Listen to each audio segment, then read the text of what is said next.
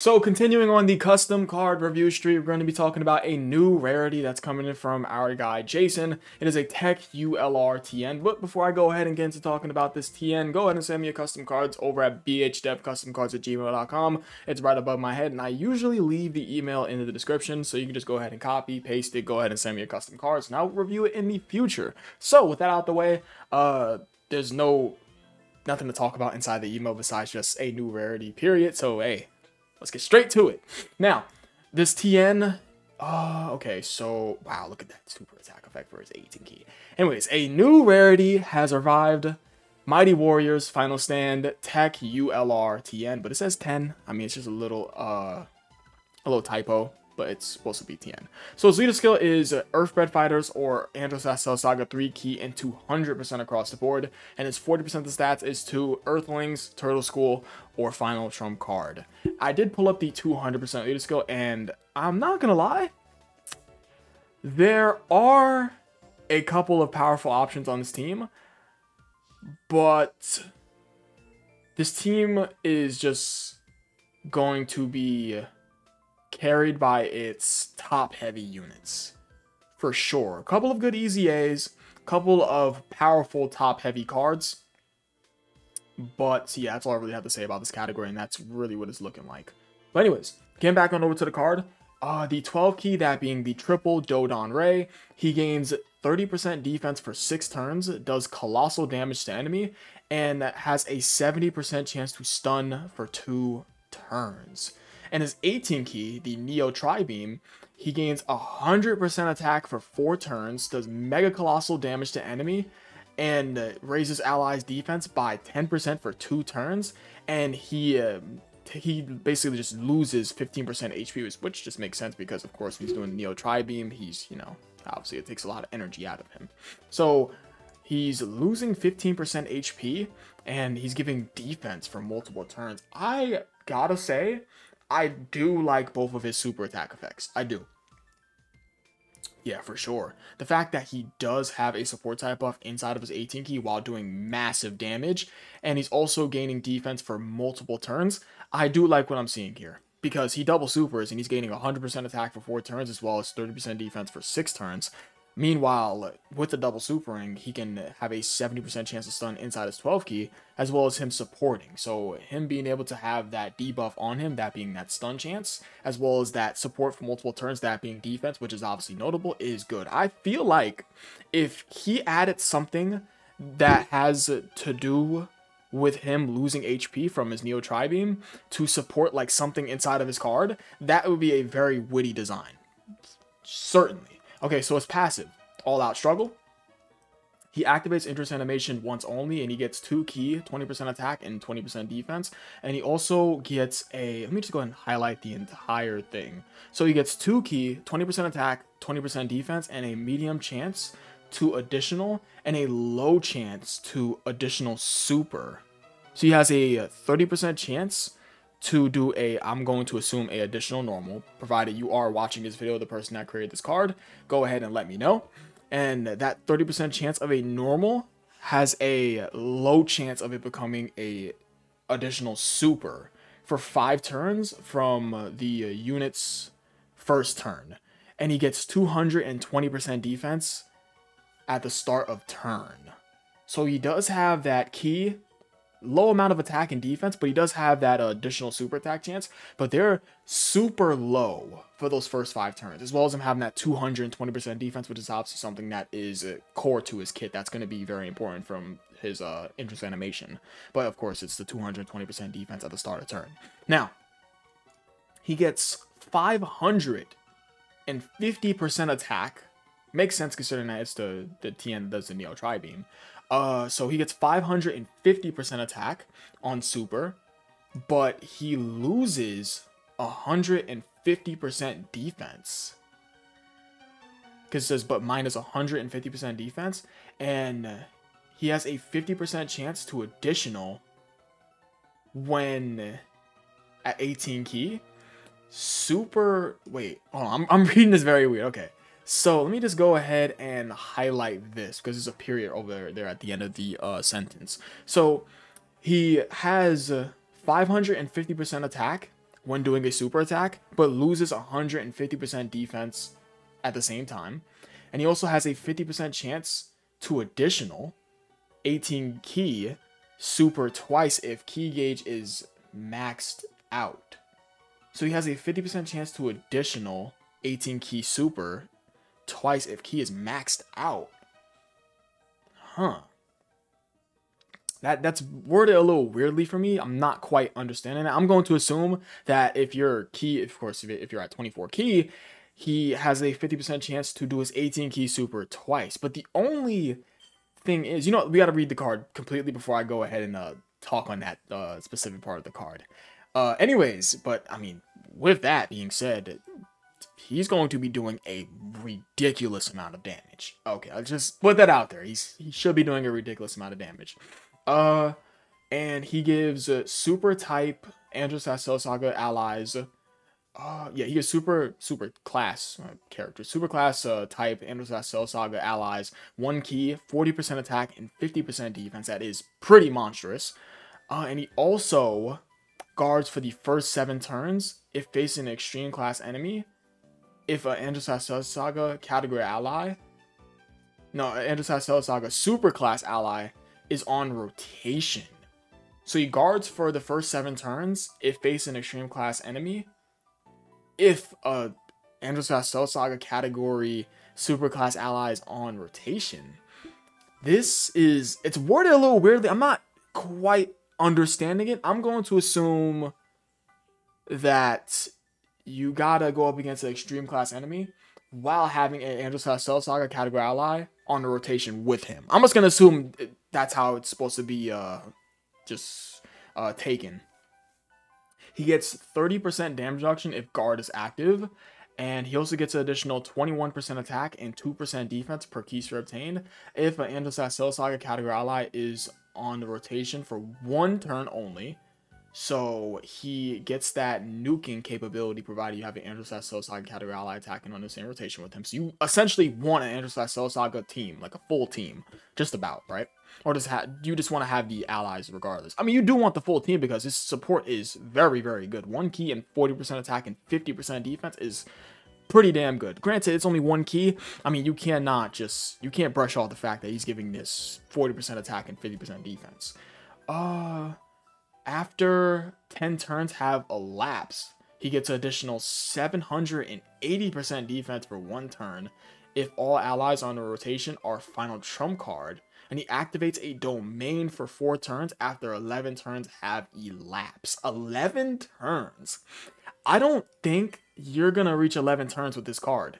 This card's going to be doing a ridiculous amount of damage. He, he's, he's got to be doing a ridiculous amount of damage. We're going to see what his domain is in just a second.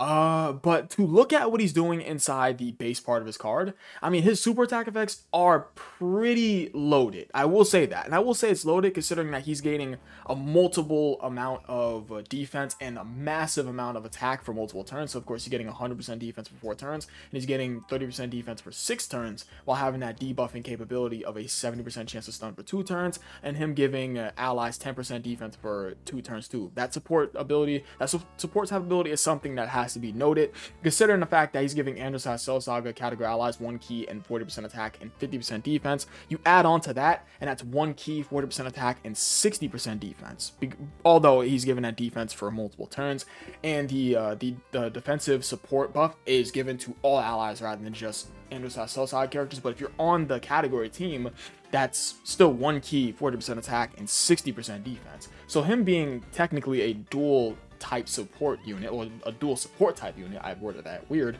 I mean, you have you have to have a super class uh, uh Androids Cell character with him, but granted, you have that character with him. That is still very good that he's a dual type support character, whether you are on the category with that 10% defense for multiple turns, and whether you, uh, well, whether you're on it for the uh, 1 ki and 40% attack and 50% defense, or whether you're not on it for the 10% defense for two turns. Now, you, uh, have, there's, there's a couple of, this card is, is a bit, this card's good, but it's, it's a little weird in some parts of the card. Like, a 30% chance to do a additional with a low chance. Is a low chance like 10%? I think it's like a low chance, like a 10% or 15% chance. Someone please let me know down below. I don't exactly know, but I think like a low chance is like a 10 or 15% chance. Like a, a 30% chance or like a medium chance to do a additional normal that has a low chance of it becoming a super attack is just, for a custom card, is not really the greatest. Uh, I mean, but to be fair, this is a new rarity, so I guess holding back on this custom card in particular does make sense but on that same front, these are. Hmm. You know what? I get it. I get it, actually. I, I see why he held back on it now. Okay. That's fair. That's fair. It's technically, he's it's a new rarity. It makes a whole lot of sense. Uh, and of course, he has that 220% defense. Nice. 550% attack when doing a super attack is nice, but he debuffs his defense by 150%. Um, he also has a 50% chance to I mean, no, let me go back on over to this 150% defensive debuff. He does have the guard, but you have to specifically face a extreme class enemy while having a Androzast side character with you on rotation. So he'll pretty much have that guard, so he'll be fine on that front, right? Albeit it is restricted, he will have it uh, because you're going to want to get that active. And then he'll of course have that 30% damage reduction if your guard is active, as well as him being a nuker. Um, yeah, he'll be a nuker, but it's weird because it's his nuking is only for that one turn. I I feel like he's just gonna kill anything in his path. Yeah, he's only able to nuke for one turn. This is he has a he has a couple of restrictions. You know what? I'm just gonna leave it at that. he has some. I will say you know what? Nah, it's not an odd restriction, though. It's not odd restrictions because this is a new rarity, and I guess I could see what he's going for with him testing the waters with how he would create a card like this. Anyways, um, but what I will say, uh, just to move on over to the next part of his card, um, for his uh, little domain, 11 turns with this card is not happening. It's definitely not. Look at the combination of these super attack effects, and look what he's getting on super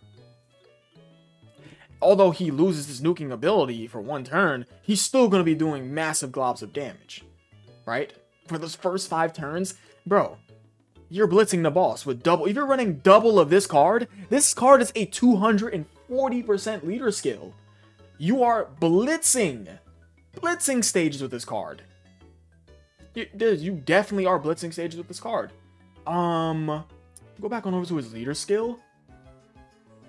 Okay, okay.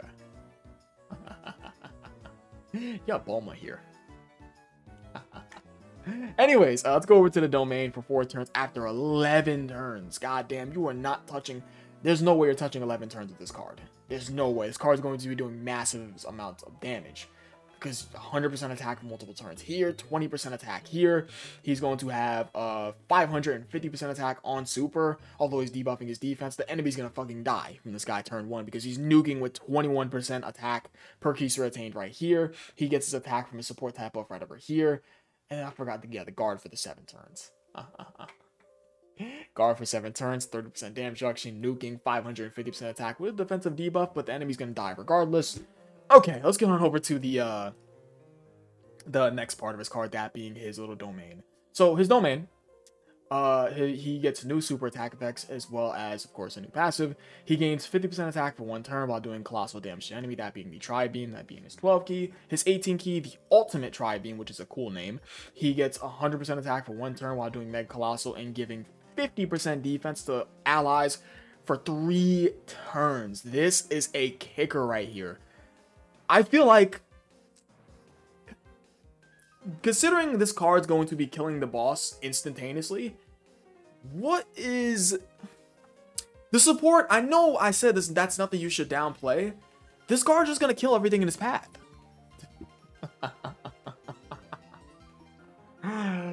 Brother. Okay. Anyways, uh, imagine you have the 50% support Tien who is on his 200% skill, just floating. Okay. All right.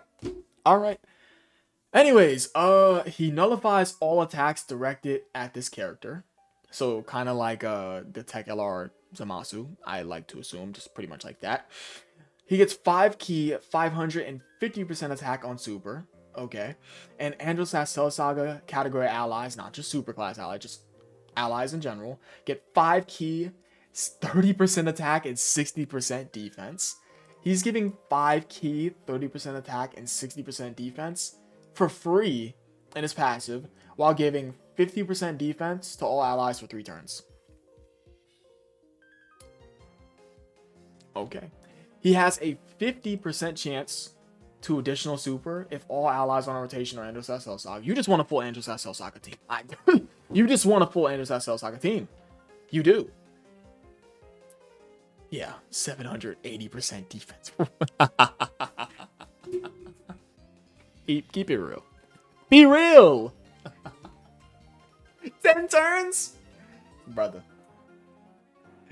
Anyways, uh, let me go ahead and reread that. So, he has a 50% chance to additional super if all allies on the rotation are Androids Cell Saga.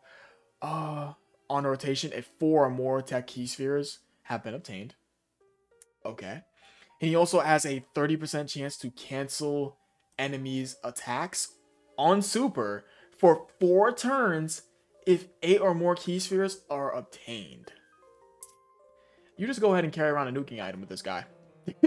you guys know that little uh the, the Takiyomi item, the little I don't even know how to describe it, like a little food item, little food thing for Dokkan. That changed that it randomly changes tech tech ki spheres for uh how do I even like say it? It randomly changes tech ki spheres.